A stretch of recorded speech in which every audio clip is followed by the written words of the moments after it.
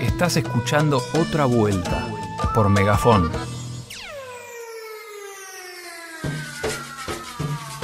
A todas y todos, todas, todos. Tal vez ha llegado el momento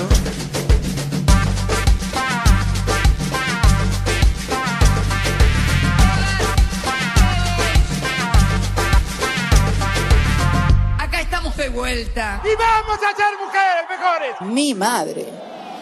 4.260.808 vacunades y contando, amigues. En el mundo ya hay más de 130 millones de casos confirmados. En nuestro país, ayer se diagnosticaron 9.955 casos nuevos. El 72,5% son de Cava y provincia de Buenos Aires. Además, hubo 93 fallecimientos.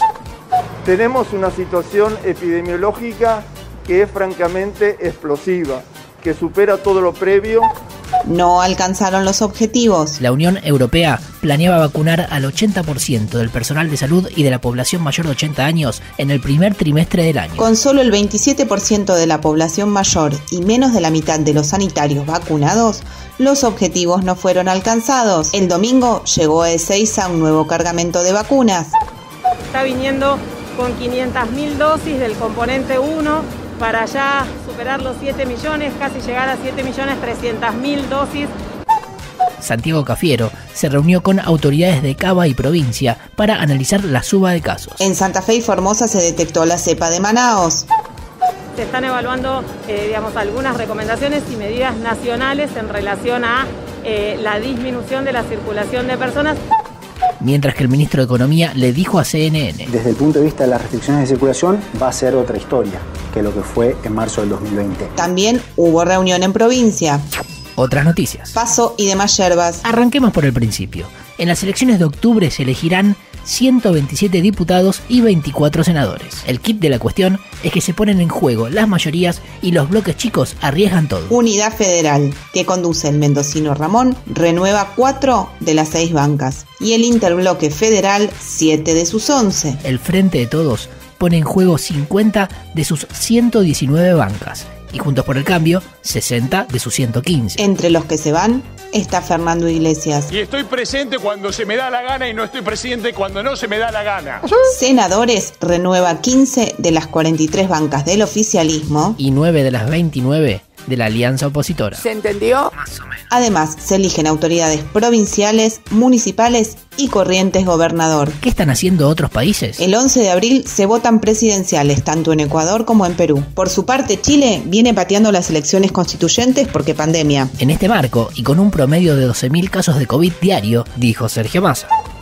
que, lo- que la política tenga capacidad de resolver sus diferencias puertas adentro y que no someta a los argentinos a tener que ir dos veces a votar. ¿sí?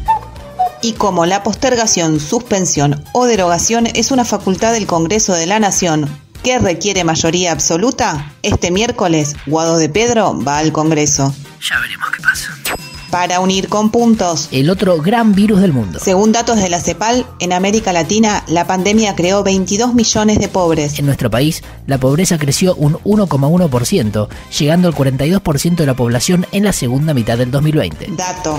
El 57,5% de los niños menores de 14 años vive en uno de los 2.9 millones de hogares bajo la línea de pobreza. En la Unión Europea, la pobreza infantil alcanzó el 22% y se perdieron 6 millones de empleos. Este fin de semana, el FMI llamó a los gobiernos a reducir la grieta entre ricos y pobres aplicando impuestos sobre los más ricos. El.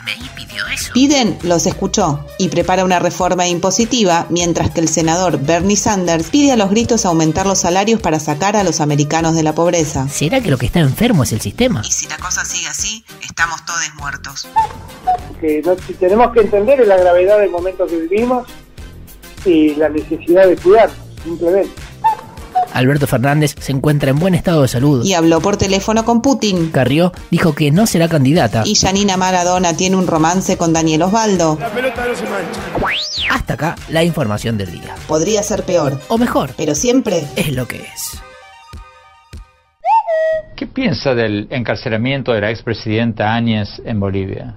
En Bolivia iban a empezar a cicatrizarse heridas, pero esto lo que hace es volver a tensionar todo el sistema democrático.